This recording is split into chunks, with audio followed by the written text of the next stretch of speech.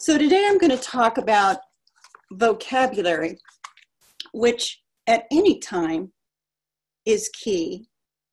But when our students have been off the page and haven't been attending to text, it can be something that really needs to come center in our thinking about instruction, in our delivery of instruction. So I wanted, I always start by bringing in the people for whom I work.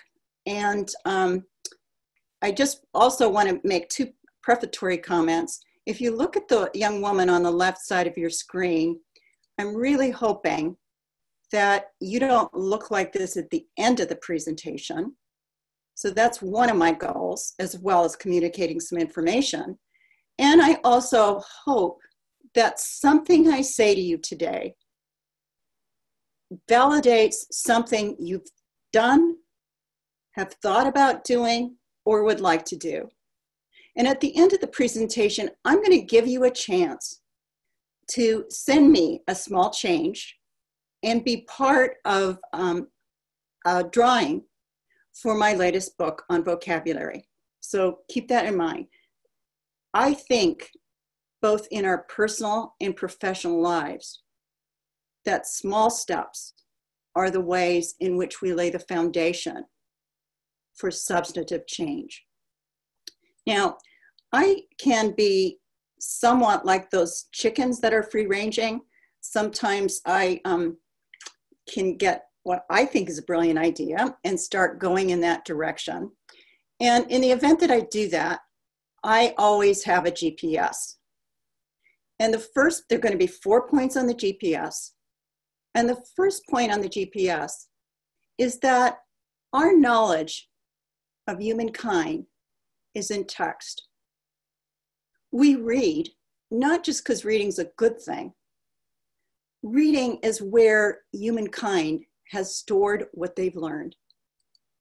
So if you think of this as starting out when the defense contractors, academics started using the internet, in the 1980s to 2007, I'm suggesting these are the amounts of information that from my very um, clumsy attempt here to present information, what I'm suggesting is that undoubtedly how I'm representing 2020 is um, much um, too minimal, that there's actually a lot more information some of it useful, some of it not so much, in our 24 7 library.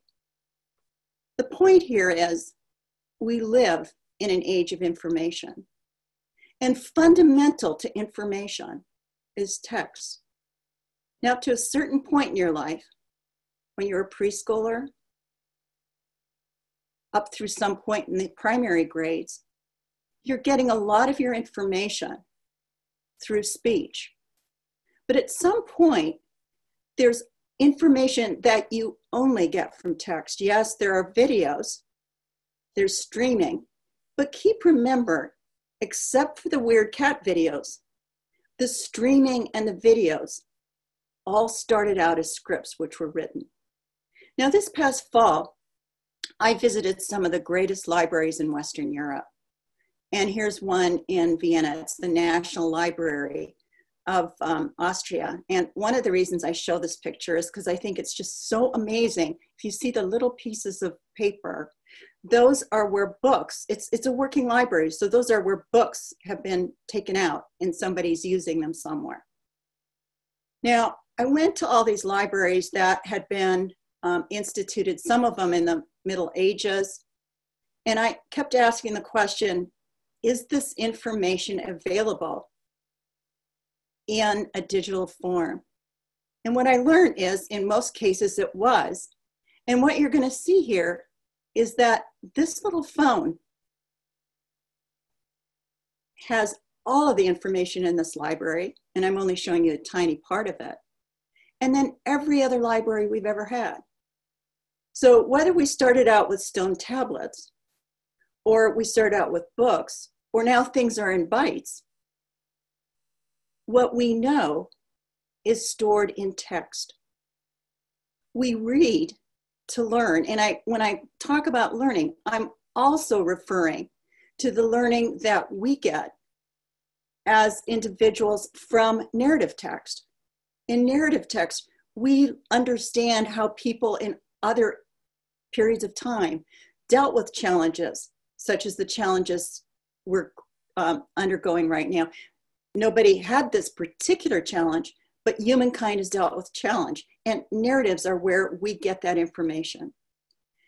Now, I want to point out that if you rely on all of your information from oral language, there are going to be big gaps in what you find out. It's going to be very idiosyncratic what you learn. A study by Hayes and his colleagues looked at the number of rare words in conversations in television programs and so on. What they found is that a conversation between two college educated adults has fewer rare words than the typical books that we read to young children. Think about that. Now, I've spent a lot of time in coffee shops in the past, and I can verify that there can be some very, very um, um, inarticulate speech when I listen to people's conversations. In fact, I live in a town where there's a lot of surfing, and you can get a long way in my town if you know a single word and that word is dude. Okay, so and I listen to these conversations and they're kind of like, um, okay, that, you know what happened and then what happened and so on. What I'm saying is that in text, we use more words than we typically do in conversations. Now, not in a conversation such as I'm having with you today and the other speakers are having, but in our day to day lives the number of things you're going to learn, and rare words are one of the ways in which we learn things. So we know that what I know influences how well I comprehend. In fact, this is one of the most solid findings we have in research. The relationship between my knowledge of a topic and what I comprehend on that topic is almost perfect. But at the same time, we know that what you expand in your thinking comes from texts. Texts are critical, not just because it's a nice goal that we have for kids to read, but it's because it's where we as human beings have recorded the things that are important to us, both personally and also our observations about the world. So it's a two way interaction. To know more and be able to comprehend more, I actually depend on text. And what's at the basis of text are words. So, my second point here is that words are the labels for the concepts that underlie knowledge. And while I was talking about rare words, and they're essential, we also have to recognize that a very small group of fairly common words. I'm going to describe them as word families, and I'm going to describe define that in just a little bit. But they account for the majority of the words in text. These families represent some really important knowledge about both the world and also about how English works. For a lot of our kids, a lot of them they simply haven't read enough to get good at these 2,500 word families. We changed our model of text in the United States about 25 years ago to authentic only texts. Now, I'm a strong advocate of great texts, but we also need some texts that have some understanding of how you progress in reading. Not all the time, but some of the time.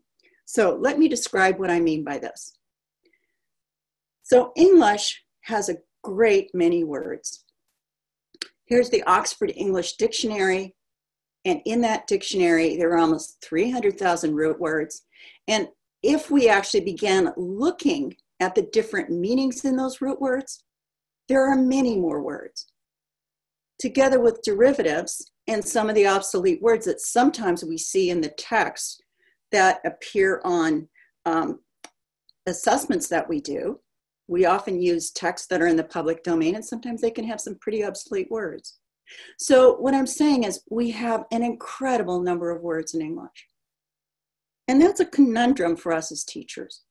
What words do you teach?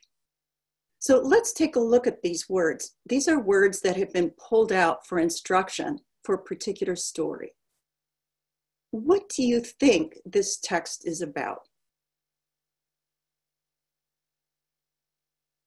Now, I really uh, am grateful that I can give this presentation today without getting on a plane. At the same time, I have to tell you that I really miss you. I miss the opportunity to look in your eyes, to see you nodding, to hear your questions on the spot, and um, to get the energy in a room. So I can't find out what you're thinking about what the story is about, but let me tell you what it's about. It's the book Me and Uncle Romie. And it's a story both of a boy's coming of age and also the story of him learning about his uncle, who's a famous collage artist. Now, when I look at these words, excuse me, like yanked and streaked, the only word that actually gets close to the idea of art is studio. Well, maybe smeared. But the point here is that in this book, there are a lot of words, about 1,700 total words. And the size of the word shows you how many times it's repeated. So Romie happens a lot in the text. Now, when I pull out all of the words, I've got 601 uh, unique words, is what I had on that last slide, and 11% of them are rare in written English. Now, if you look at some of these rare words like footsteps and sister schedule, you know, just because it's rare doesn't mean I don't know what it means. It just means it doesn't appear a lot in text. But the question is, did those words that were chosen for instruction, and it happened that two core reading programs use the same text, and as you see, two words were shared.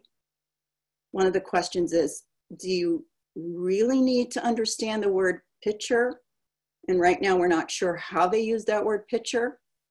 A word like cardboard is actually a word that most kids know and we can figure out pretty quickly. Why these words?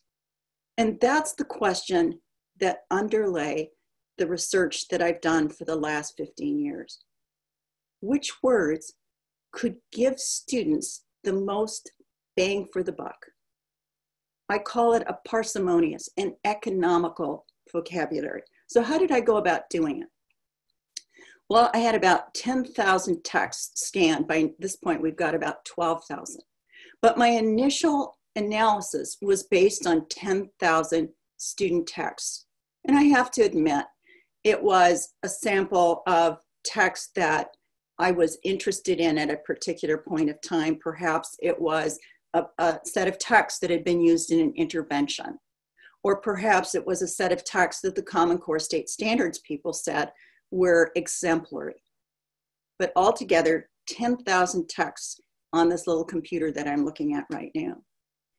Then what I did is I got a word analyzer, and the word analyzer actually gives right now about 15 characteristics of words.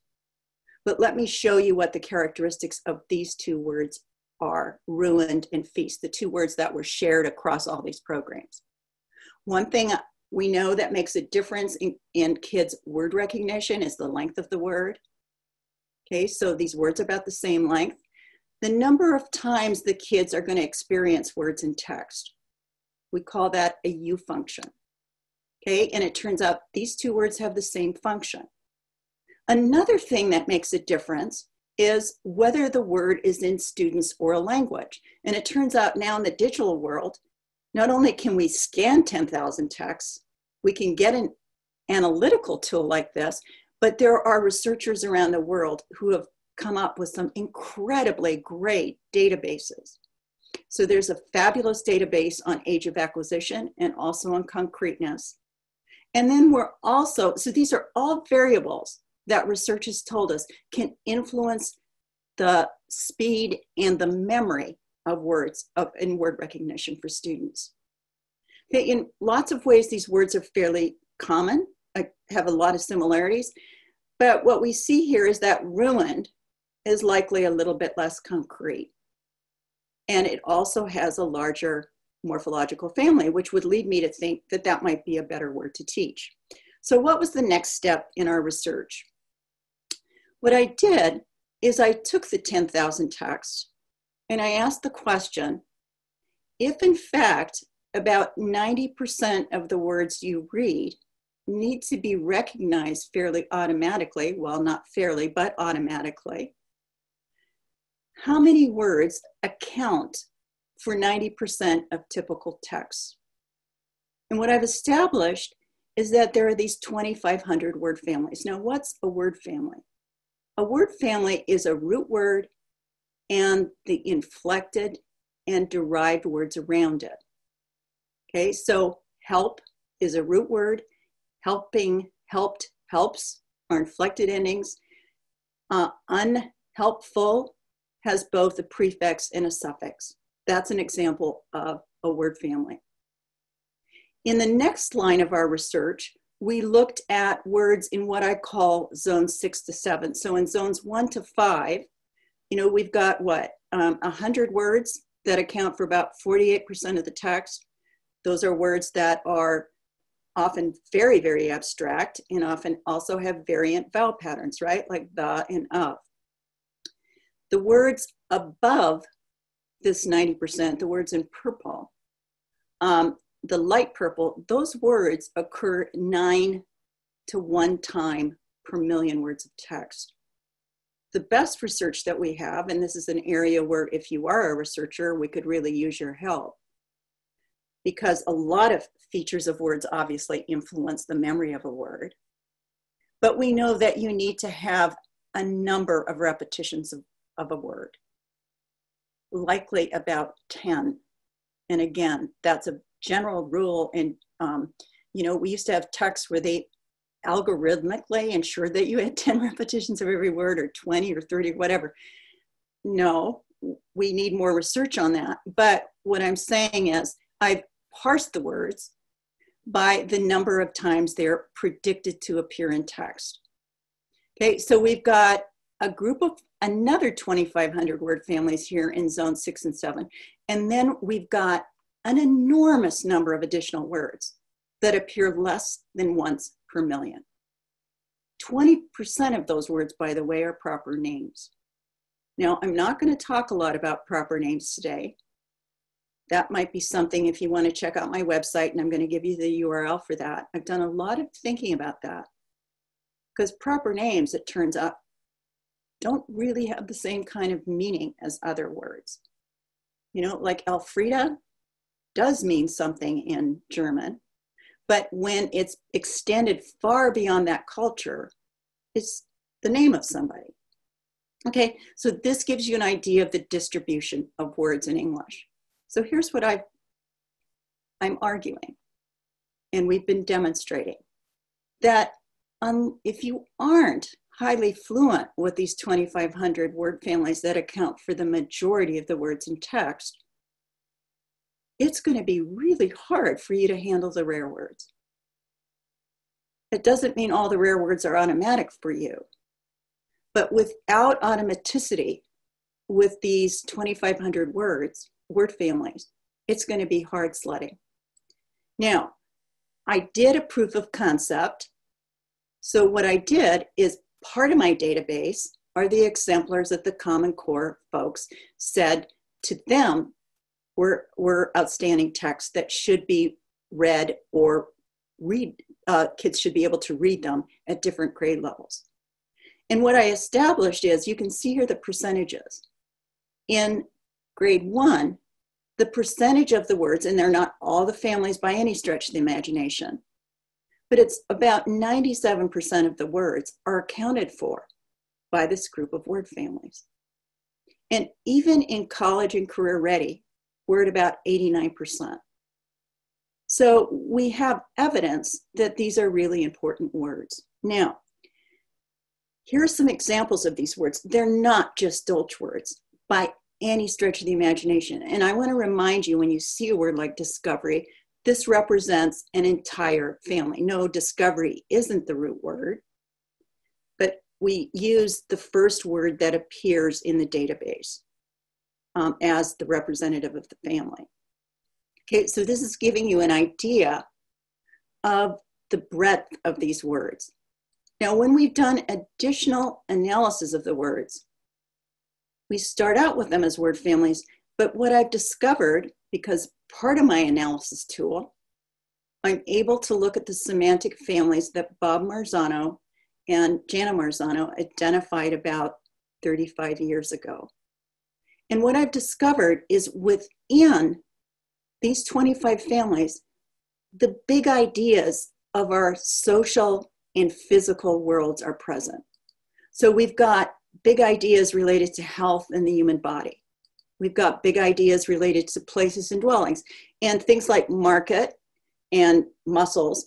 These words appear not just in informational texts, but they also appear in stories. I mean, a fundamental part of a story is the setting. Okay, so there are about, this gives you some idea at Text Project, we have pictures for the concrete words in each of these groups. And there are about 15, 16 of them. There are different ways you can parse this. I'm not saying there's a right answer, but these are important ideas. These aren't lists to be memorized. The second part of the of these families is that they're families. And that's an important thing to, to, to remember. So it's not just saying, oh, I'm going to learn these lead words. It's remembering that you have to have a sense of how English works. There's a phonological system and there's a morphological system that connects with the phonological system. And in English, we have a very unusual language in that it has two fairly distinctive language sources. A language like Spanish doesn't have two distinctive ones. In English, we start out as an Anglo-Saxon language. Okay, initially there were people who spoke the languages that are now um, in Wales and Scotland and Ireland. But when the Anglo-Saxons who spoke a form of German came, they pushed those people out. And the part of Great Britain was Anglo-Saxon. And I'm gonna tell you a little story of English with food. Okay, the first part of this is that English as a Germanic base has an incredible number of compound words, which is why I use bratwurst as the base. Okay, so we start out with a language that has lots of little words like bat, cat, mat, sat, and we put those little words together to form a lot of compound words. Now, at a particular point in time, it was actually 1066, the Normans who spoke a form of French invade Great Britain. So we got the baguettes, you know, we put the base, the bratwurst, into the baguette. And French was a language that functions differently than Anglo Saxon. We don't see the compounding here. We see a lot of phrases and we see a lot of derivations. So it actually turns out in the German level of English, there are very few prefixes and suffixes. And most of them started out as compound words like asleep, awake, helpful. Those are examples of words with um, the Anglo Saxon suffixes and prefixes. Now, what happened during a period of time in Great Britain for about 300 years while the Normans were in charge is that the aristocrats spoke French and the working people spoke Anglo Saxon. So, what you have is a system where, for almost every word you can think of, you have two different words, or three or four or five or six. But there are a lot of words that cluster around topics. Okay, so you'll have a word like easy and you'll have a word like facile. And facile functions quite differently in terms of its construction, facilitate, facilitator, and so on. Now, English also has another layer, and that's the Greek layer. And most languages bring in these words. So once we have the Reformation, excuse me, the Renaissance, we add words. And in, Greek functions has a different morphological system than either the French or the Germanic ones. I think I'm probably taking a little too long on some of this because I want to get into the actions we need to be taking part in. But um, this is going to be available for you at Text Project. I think that Mike and his people are putting it on too. But a really great way for kids to understand this. And yes, I please don't think that kids are memorizing where these words fit, but to understand that the base of English are these little words, down to earth words, as Bob Calfee called them, that um, function often in compounding, which is different, as you see, than the way we're making words and derivations in the Romance level. And in the Greek level, we're actually again compounding, but the compounds have very different characteristics than the compounds in the Anglo-Saxon level. The third point that I want to make about the core vocabulary is that there are just a multiple number of meanings of common words. So if you think of a word like set or even a word like shape, there are lots of different meanings for words, and sometimes those words can actually be contradictory. Okay, so to be good with the core vocabulary is not about memorizing a group of words, it's about doing enough reading so that you get facile with topics, you get facile with the morphological system, and you also have the expectation. Group of researchers like Laura Steacy and Rob Savage are talking about a set for variability. They're talking about that in relation to um, the grapheme phoneme system, but I think you also have to set for variability in terms of word meanings. Okay, so let's breathe here for a minute. And now we're on to our third idea. So we've got this base set of words, but now you also have to remember that we have three or four rare words in every text. And what I'm suggesting to kids is this is information you need to know starting toward the end of second grade. Lots of kids don't know what makes text hard for them. They need to know that it's a text will have three to four rare words, and there are some connections across those words. They're not just random words. And a lot of them you're already going to know. And not knowing them doesn't mean you're not a good reader. These rare words are your source of learning new things. So let me share with you what we've done in our database of our 10,000 texts is we've looked at, these are percentages here on the left-hand side of total words and text. And what you're seeing here is that, I'm sorry, I changed the colors at the end. So it's actually quite the opposite. Um, the um, I'm really sorry, the blue is information and, and the green is narrative. What you're seeing is that yes, early on, we always think that um, informational texts have more rare words, but as we get into the higher levels, it's actually the narrative text. So keep remembering the green is narrative. Okay, so you're always going to have rare words. Now, one of the things about the rare words, and they often occur, they're not equally distributed across the text, but they often occur in the beginnings of text. So here you see in a text, um, this is from um, The Wizard of Oz, a writer of a narrative text doesn't keep using the word dazzled and brilliant and sparkling and glittering. Okay, they use a lot of synonyms. You, some of you maybe learned to read with Dick and Jane like I did, and Dick and Jane had um, obsessive compulsive disorder, and they kept using the same words over and over again, like hop, hop, hop, or uh, jump, jump, jump, or stop, stop, stop. Um, that's not how a good narrative writer writes.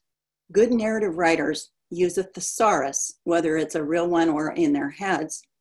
And it turns out that the words, you know, we could pick out, and that's often what happens in our reading instruction. We pick out a single word and do all kinds of song and dances around it. but don't help kids see that it's part of a family of words. Now, one of the things I just realized I didn't include here is the slide that shows the main groups of synonyms in information, excuse me, in narrative text. And I'll show you where you can find that at Text Project later. I'm trying to share everything I know with you in an hour. So uh, I apologize that I, I made some choices um, and didn't include that. Now, an informational text, an informational text writer doesn't go looking for a synonym for solvent. The narrative writer is capturing a mood, and to capture that mood, they're using a lot of rich words. In an informational text, it actually turns out that you use the same word and the derivatives because you're communicating a particular idea. So, yes, it turns out that, well, early on, some informational texts can have more rare words, but not to the level that we often think. Actually, it turns out that in, in informational text for fluency instruction, I always use informational text because in informational text, it makes sense to repeat words. And I'm going to show you some of those in, in just a minute. Okay, now the thing about the words in informational text, they occur in networks as well. So we got synonym networks in narrative text, informational text through topical networks. And in these topical networks, these aren't synonyms. And it actually turns out that in these clusters of ideas, you need the words, the keywords from one cluster to define, define the words in the others. So the words are all interrelated. It can really help for kids to actually see how some of this is built, to know that they're going to get into these topical clusters, and to start developing some background on these clusters. Okay, now to the stuff that you've been waiting for. So, what does this mean? What have I said before? We read to learn things personally, socially, and about our physical worlds. Words are the means for communicating that knowledge. And there's a very small group of words that makes a really big difference in text. And then there are rare words that really give the flavor to narratives and communicate some really important points about informational text. And we need to be attending to those as well. How do we do that? I describe the kids that I work for um, as kids who depend on public schools to become highly literate, and never more so than now. I'm going to give you three actions. I might not get to the third one, and I've actually provided that as a handout. So while you look at this slide, I'm actually going to take a little drink of water. Okay, the first action, and I think more now than ever, we've got an opportunity you know, it's not about covering every single strategy that you can think of related to comprehension. In fact, the work of people like Willingham shows that, you know, getting kids to think about text is what's important, getting them to monitor text, and getting them to recognize that texts are about learning things, whether it's narrative or informational text. What I'm going to suggest is the more we can do at the present time for building knowledge networks through text, the more we're going to serve our kids.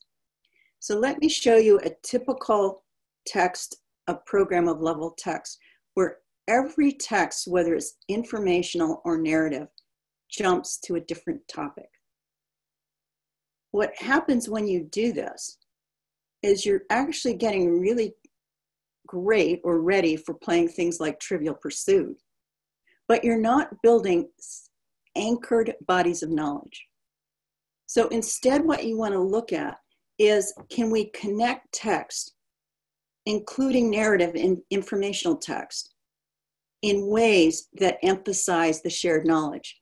So let me show you. I took those two texts, 11,400 words. That's actually quite a few words for second graders um, likely take them through about um, a, a, trimester of, of school.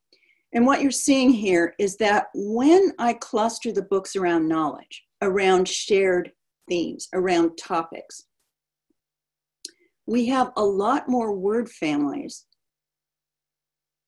Okay, and we also keep remembering that any text you use, you're going to have a lot of the 2,500 words, but you actually condense the number of different rare words you have. So you're actually having some experience with rare words. So here's some examples of some really critical semantic clusters. You know, those knowledge bases that I was talking about? So as I said, in a program that hasn't been clustered intentionally around content, you're going to see some of these words, but what you see in a knowledge based text is greater repetition of particular words and you enrich the concept. In some cases, you enrich the concept immeasurably. Okay, so some some um, domains, like the jobs of people, are really critical things to understand when you're reading narrative, and it also extends into social studies and even into science. And so, what I'm showing here is when we start clustering text by topics, we, we focus our vocabulary. Now, we also, and I think now in this unusual time that we're in, I think focusing on what kids are learning with the text and ensuring that they have some way of storing, sharing, and remembering what, what they've learned. I'm hoping when people uh, come back to school communities, and some of this is virtual, that we have the journals, the notebooks that kids are willing to share. Okay, so what I'm saying is when I'm learning something, it's really critical that I have some way of documenting it. I think word maps are just about the best thing you can be doing. And at Text Project, I've provided you with, um, I don't know, I think there are about 70 or 80 of them around common words. Uh, and by the way, there are also forms for kids to fill out. I'm not saying you teach all this at once. This is from the teacher's guide. I think books and essays. I would love for libraries uh, first of all, I'm hoping libraries will be emptied out as we get packets ready for the kids if um, they're going to be doing some distance learning. And eventually, I hope that we fill our libraries with books our students have written as well. And of course, they're going to return those books. But um, we want to emphasize knowledge and we want to emphasize what it is that you've been learning. Okay, the second action is that we want to ensure facility with the core vocabulary. And as I said early on, this doesn't necessarily happen with just any text. Now, I'm going to show you some text that I've been working on. And I don't want you to think that I'm saying we don't read um, other texts, the ones that fall into the trade book category. Please don't think that.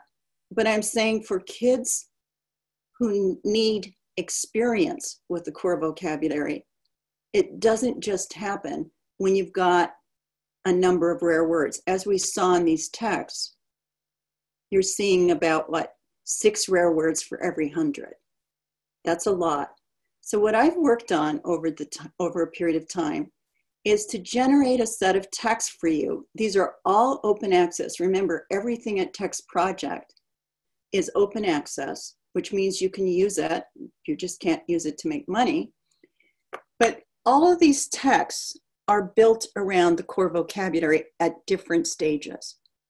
No, they don't follow the guided reading levels, which in fact, I don't understand quite what the basis for some of those are in relation to the words kids need to read. What they do is they follow a progression of words within the core vocabulary.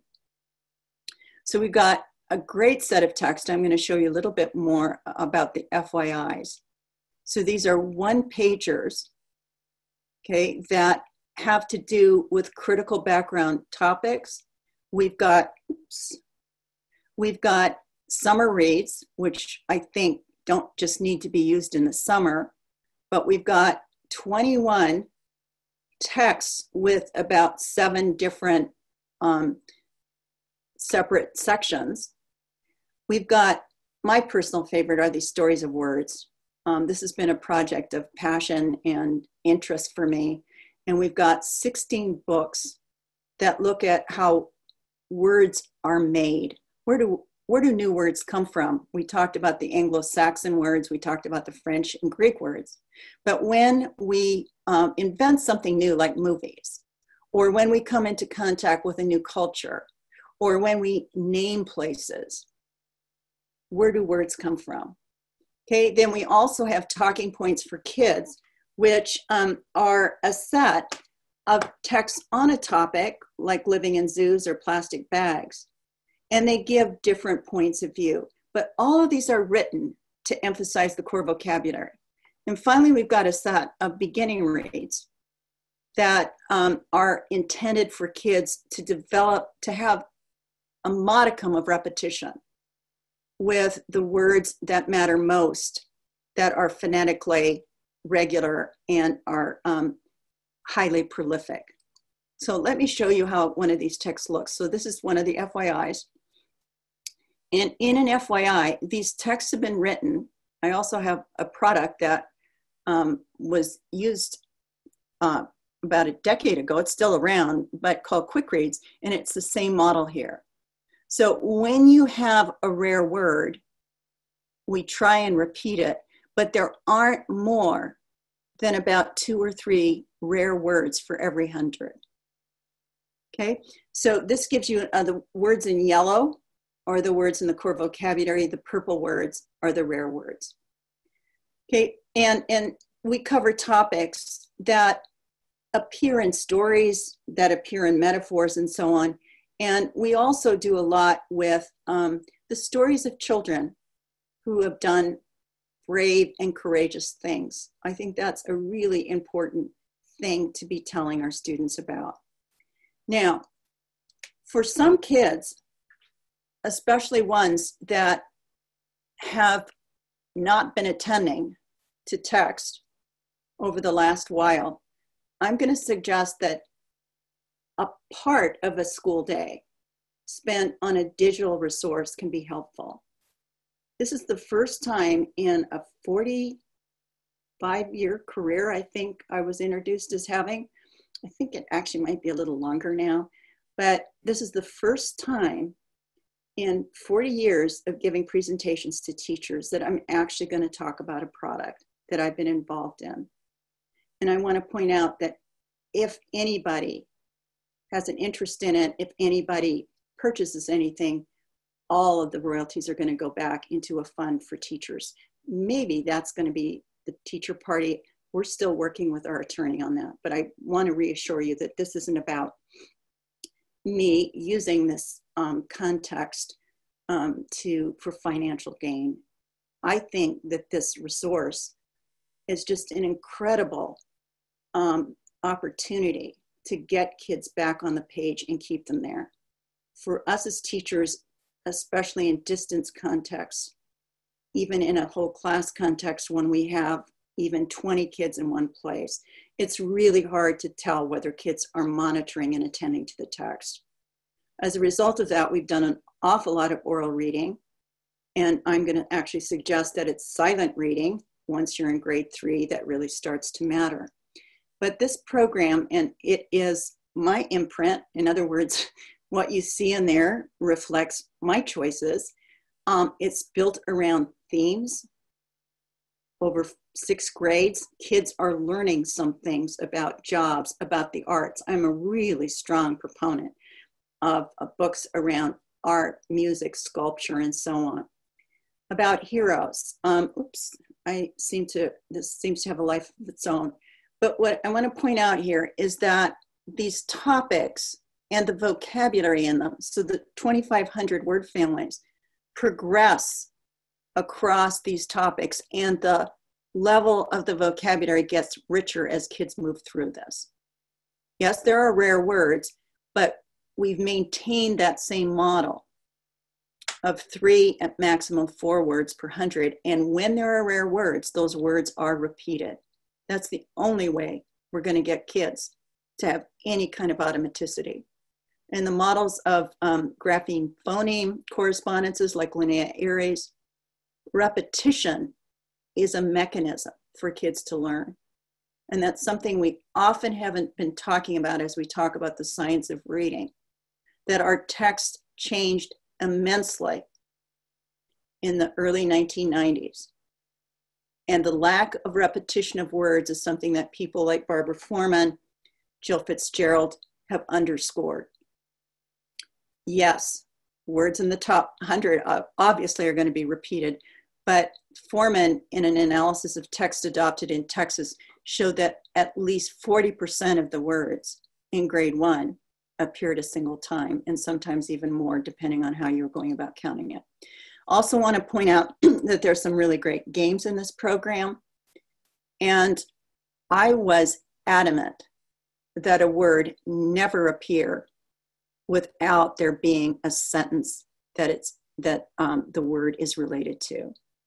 So students are doing more reading when they're doing games, and they're reading in the context of meaningful um, sentences, meaningful paragraphs, and so on.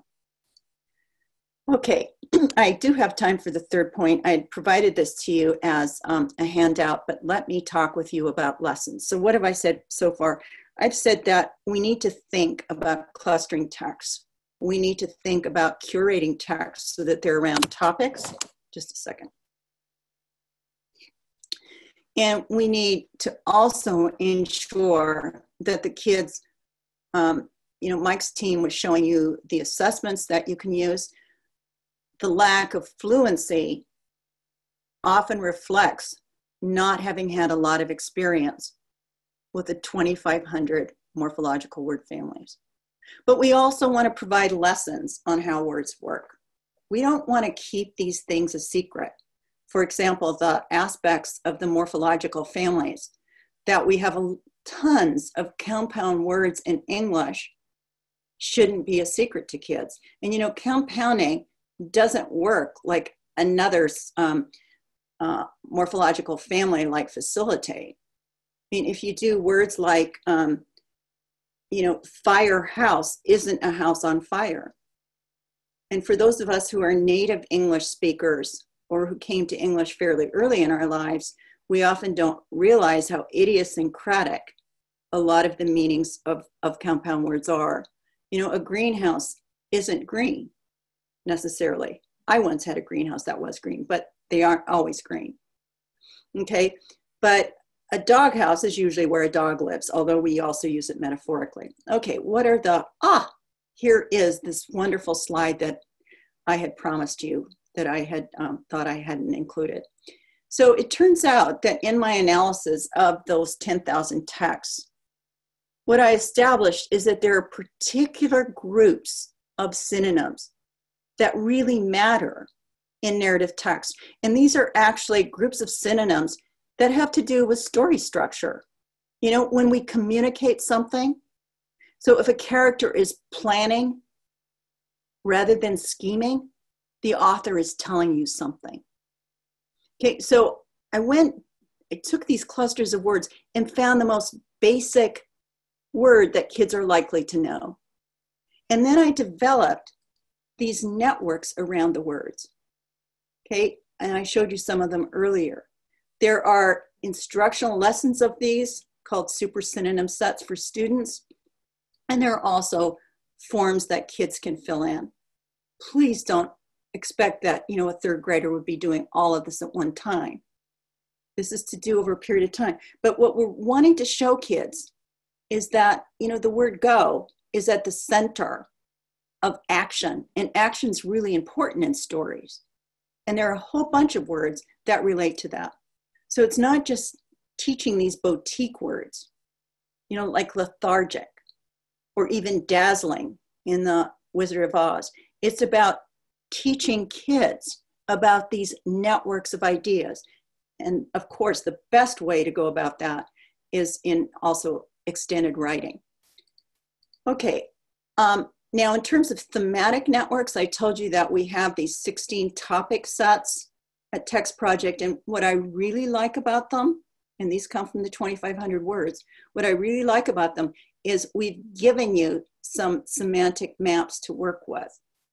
Okay, so all the words around money in the 2,500 words are organized around these three big ideas. And then we take each of those ideas, so this is one of those topics, okay, and they're words that describe. And what we've done is we've provided illustrations and notice that we're also showing um, syllabication. I'm not saying kids are being asked to um, put words into syllables, but I'm saying showing them, you know, in terms of phonology, how, how that's read is really critical. One of the things Linnea Ehri has actually shown is that being able to, to read a word aloud, and I'm not suggesting that everything is being read aloud, but when you're learning some of these words, when you can pronounce it, that can really help you in your um, fluency with that word, with its meaning. Um, by the way, I'm, I'm learning my native language, which is German. That's one of the projects I've taken on during this, um, this sheltering in place period. And um, I really notice that when I hear the word, I often relate it to, I, I know that I've heard it before when I was a child or as a, as a young adult hearing my parents speak. Um, and, and that can really help in the learning. And I'm saying a lot of these words kids will know. Remember, it's very hard, if not impossible, to decode a word if you don't know what it is, right? How do you know that you got it right? So this um, function here is really important. And what I want to keep emphasizing here today is that we want kids to have records of what they've learned. Um, and here's some examples clustering books together and then some records of, of what I've learned. And, you know, if we can do these records digitally so that kids, as they read more on a topic, um, as they maybe watch a video on a topic, they can keep adding to these records. I think the records can be um, graphic, they can be in a, you know, pictures, they can be in a lot of different forms, but it's important that um, kids have some record of what they've learned. So what did we talk about today? started out by saying we read to learn, whether it's a narrative or an informational text. Texts are where human beings have always stored what they know. Words are central to that knowledge because that's how we label ideas. And there are two aspects to our vocabulary. One is that we have this really small group that accounts for the majority of the words in text. But they're not just a list of Dolch words. They represent major bodies of knowledge and they give a lot of insight into how words work.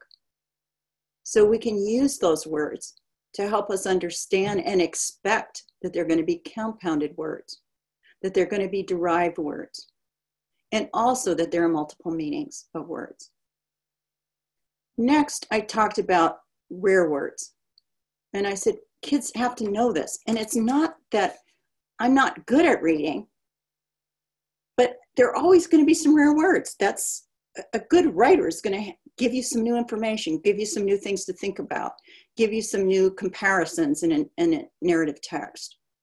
Um, and what I really notice in, in learning to read in German, um, the presence of these rare words when I just pick up um, a children's book to read versus, for example, when I do an intentional program like Rosetta Stone, where the words keep being repeated.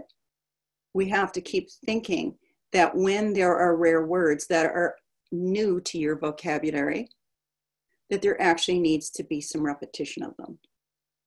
And finally, I gave you three actions for the kids who depend on schools to become highly literate. I said,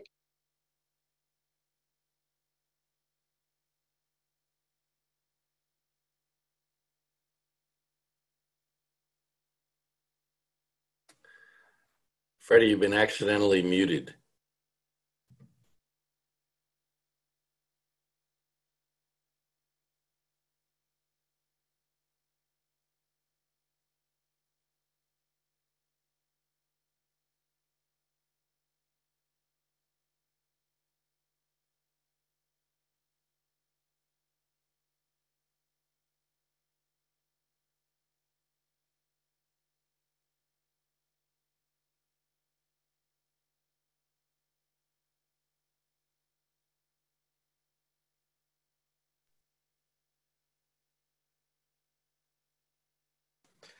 There you go.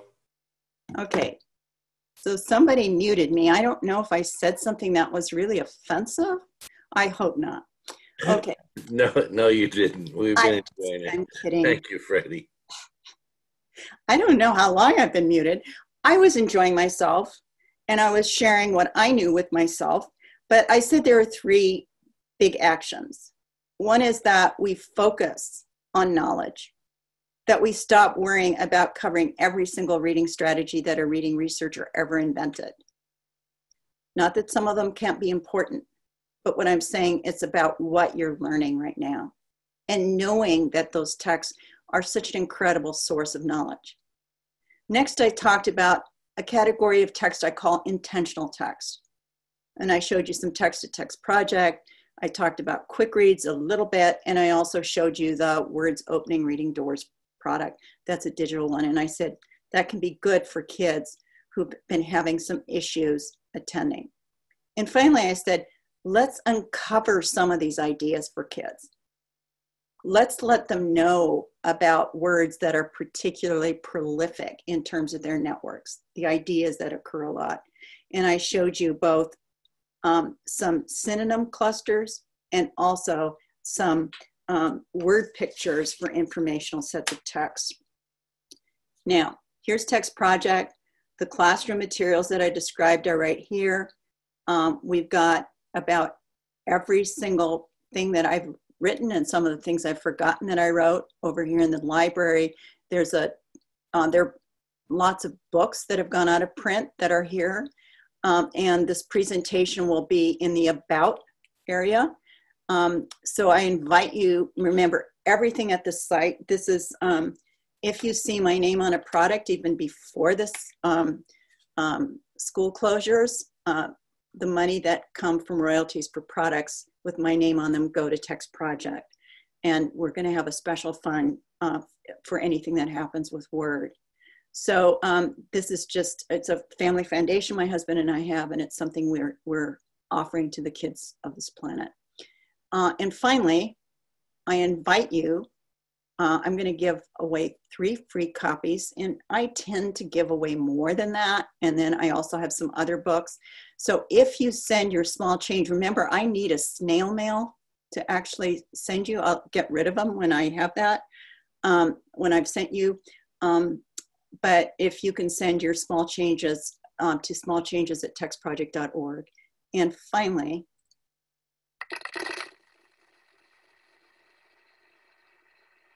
I want to say thank you for what you've been doing and who you've been during an incredibly hard time in our history. So, um, Dustin, I'm ready for questions. Oh, I have a few for you here, Freddy. it's Mike. Oh, it's Mike. Okay. Um, one of the questions was What is the recommended amount of time per day on this program? Or how many minutes a day do students need to use Word? It's about 15 to 20 minutes. I mean, for some kids, I, I really don't want to uh, go on the record for people to start thinking that Freddy's saying that, you know, kids need to be on um, digital devices forever. But for some kids, this is just going to be really, really critical. And for some kids, you might actually want to do it a little bit longer. But the um, the uh, project has been set up for 15 to 20 minutes a day.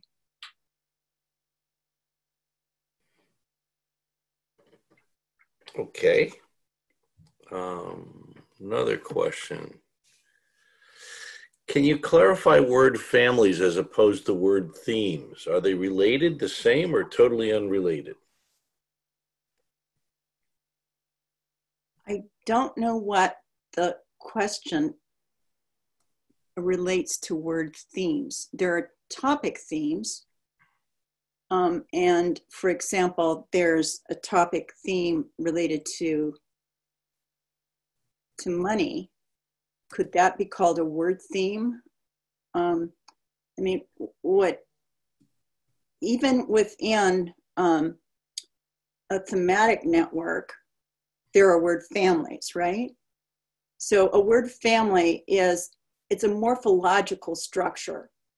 So think about, for example, the word um, commercial, commerce.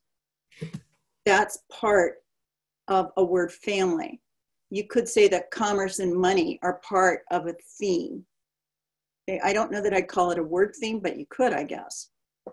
But yeah, commercial, commerce, word family. So it's a morphological structure. Another one is how does the, the unique vocabulary of narrative text differ from that of informational texts? In a story, me, I hope I'm not making anybody sick by going back through this. I know I should be able to just. So, in a story, and this is why, as you get to harder or more complex narrative, a writer uses a palette of synonyms to describe something that's really critical. So, certain writers will have a tendency to use particular kinds of categories. So, one writer, um, um, Sharon um, Crouch, um, writes about a little girl who doesn't have access to spoken language. And there's just an enormous amount of, um, of words related to sounds in that book. Okay. In another book, there'll be a lot of words related to movement. Most books have something related to movement, right? Because there's something happening in the stories. But what I'm saying is that a narrative writer doesn't keep using the word glittering over and over and over again, like they did in the Dick and Jane books. You know, they would help, help, help.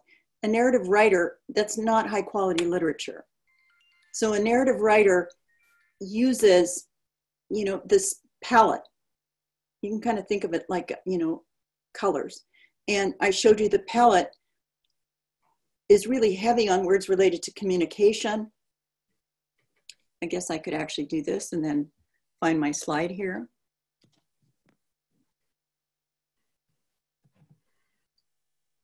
This is a really important distinction because a lot of our vocabulary we've taught with narrative. And what we haven't really helped kids with to the degree we need to, as I showed you at the beginning, um, you know, those words having to do with in, in me and Uncle Romie. And, and what I'm recommending in a story like that is that's an example of a book that has an enormous number of compound words having to do with art, which is kind of appropriate, right? Because it's about a collage artist. So, so a, a, a really high quality writer isn't going to say happy a hundred times. But in an informational text, you are going to have um, repetition. So if it's a book about uh, investments, you're going to see a word like account or investment over and over again or economy.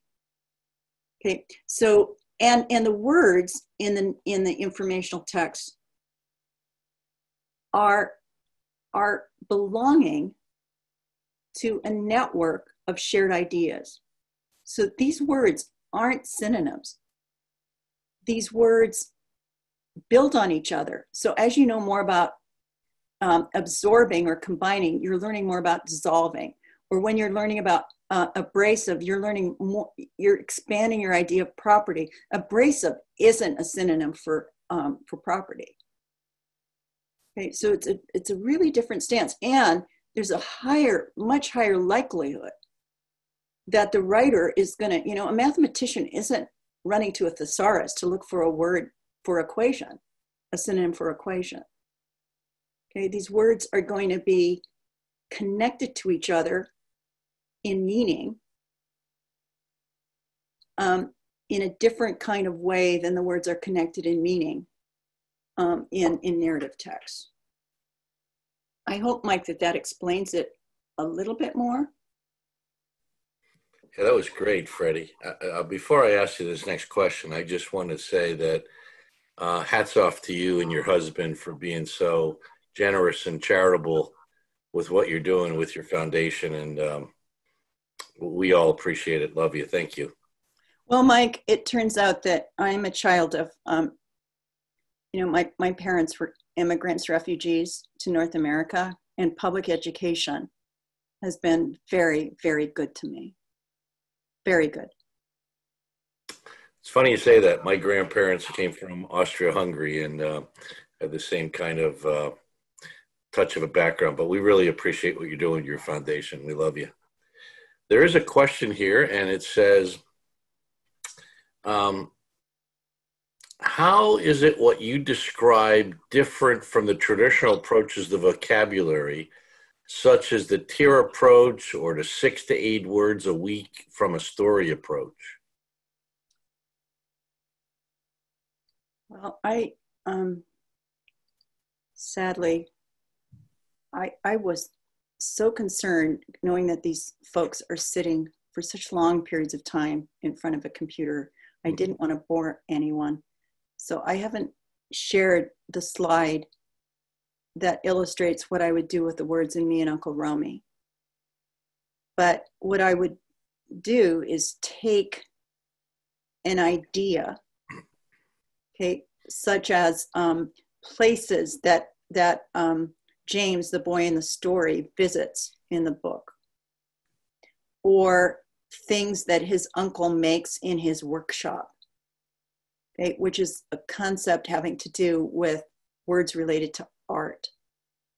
That's really different. Do you see that when you list these words like this, conceptually, there's nothing that connects them in terms of the big theme of the story. This is a story about a boy coming of age. This is also the story of what an artist does and how he spends his time and what he creates. that doesn't pop from this. So, in the networks of words that we're developing, it's all about teaching students. Most basically, it's about what the meaning of the story is and how the words fit into it. Um, I can go into my my files here and find a good slide. Um, I'll also post one. I'll post one on Twitter to illustrate but what I'm interested in is taking the idea from the story and ensuring that we've got lots of connections around that idea. Do you want me to find a slide, Mike? Uh, actually, you know, if you could send us a slide, we'll include it in a in a send out handout next week, and okay. that would yeah. be great. I'm just saying, I, I have some slides that illustrate conceptually what you would do with this text. So instead of learning this little group of kind of, I mean, I look at them and go, is the word yanked such a critical word in your vocabulary or smeared? And does it require a really conceptual leap to learn that word? And I, I don't think it does. A lot of these are known words or can be known very easily if connected to another word. So if it's really important to understand what this artist is doing with smearing and mixing and so on, then I want to have a set of words around that. So in what we typically do in a generative approach, which is what I'm describing, we want kids to be able to generate the meanings of words, is rather than teaching these kind of random unassociated words, we're teaching networks of ideas related to the meaning of the story and that also extend across text and teach you something about how English works. Because English, you know, the words aren't just random words.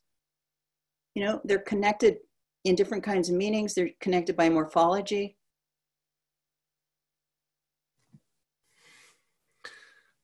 Would you say the word program would be a good way for students to build their reading fluency, oral reading fluency, along with their sight vocabulary?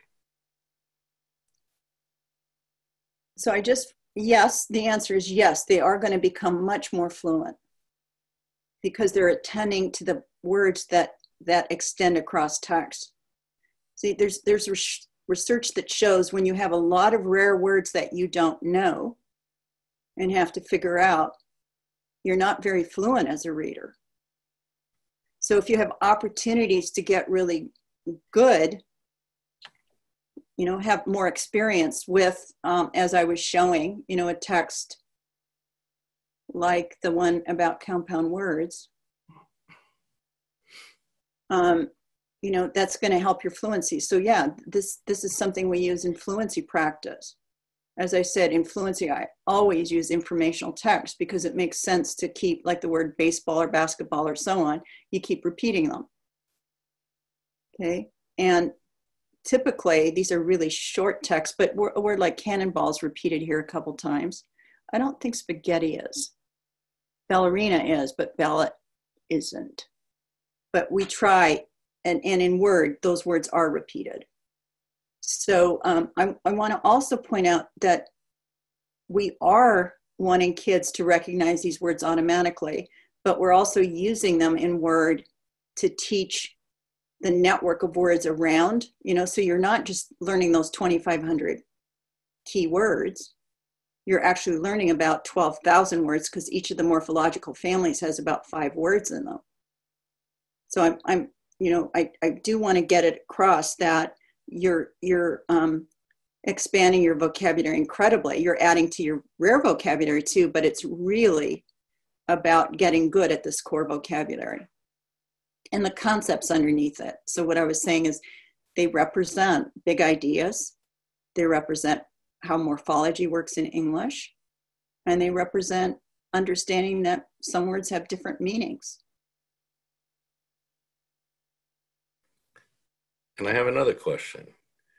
Can you clarify the 4% versus 6% of rare words and the comparison chart presented with knowledge clustered text versus guided reading type of programs? I'm looking for that. So in this text, what I'm saying is that there are more unique words in when you don't have text clustered by knowledge. So that means that the rare words are unlikely to be repeated. If you have 4% versus 6%, this means for every 100 words, there are six words that kids likely haven't encountered before. In the knowledge base, it's four, and there's a higher level of repetition because there are fewer words. And more, and there's also more opportunity to experience the word families. So it's not just experiencing help, but it's also experiencing helpful and helpless and so on.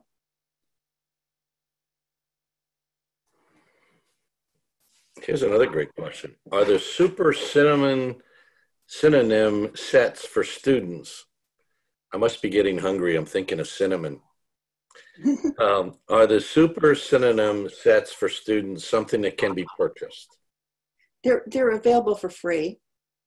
Everything at Text Project is free. So those were, um, you know, there, I think we've got 32, however many lessons there are here.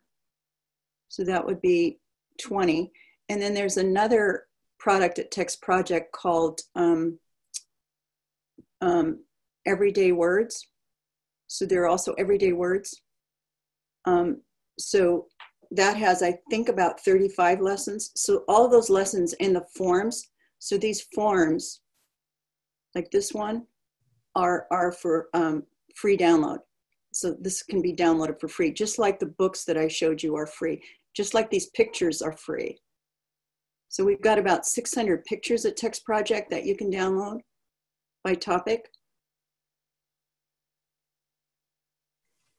Is that computing, Mike? I mean, this these pictures, so there's 16 topics, each with about 20 to 30 pictures, and it's it's free. You can download it. Do you have a um, your website handy that you could put up? Yep. Because the moral of the story, ladies and gentlemen, is Text Project is free to you. So please go out there and download all the work that Freddy has put together for you uh, because I think the key word here is free. Well, it's not just free, it's also evidence based. which I think is really critical, right? So these Yes. are just things that I thought, I mean, everything that I've made here and presented, I did as a prototype, hoping publishers, other researchers would model. So there are, you know, about 400 texts that are downloadable that fit what we call this text model. That is, the 2,500 words account for the majority of the words in text, and then the words that are rare have at least a modicum of repetition. So, what I'm saying is, all of this comes from evidence based on, on this idea of an economical vocabulary program. Let's not just teach random words, let's teach them in relation to how they work in the language and what they mean in, in, in you know, networks of text. So yeah, all of this is, um, Pat Cunningham, by the way, did just a fabulous job of writing um, um, a tutor manual uh, for, for tutors and for parents um, that I think is just excellent around the beginning reads. And then, you know, in the literacy topics here, I've clustered everything we have. Like we have probably what, about 60, 70 um, videos on our YouTube site. So I've clustered things around that. And I also have a little magazine called Text Matters, where I take something like the notion of text complexity or what I've been talking about today with vocabulary. I left y'all um, as part of the handout a, a paper that actually we paid to have it so that you don't have to go to a library to get a copy. Uh, so it's open access um, and you can share it with anybody you want. An article in, in the most recent reading teacher on, on this approach to vocabulary. So it's moving beyond the six to eight words, the tiers. It's saying, let's teach kids the underlying ideas of words. So um, yeah, there's, there's a lot of resources here. Thank you, Freddy. We really appreciate having you as part of our uh, conference and symposium. Um, it's been a long time coming, but I gratefully, gratefully thank you for your work and um, the website and actually coming on and sharing this really great knowledge. Thank you so much. Well, Mike, for your vision in doing this, I think is just, we really applaud you. And uh, I could go back to that slide with the clapping, you know? um, but we really appreciate it. Um, and I appreciate this opportunity to share with folks. Um, I really do. Thank you very, very much. It's a team effort, Freddy. I appreciate your time. Thank you very much.